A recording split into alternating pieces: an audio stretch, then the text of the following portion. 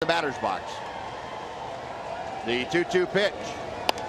Up the middle, off the mound, into center field, a base hit. Elvis will score. Rua with the RBI single. And that makes it a 4-1 Royals lead.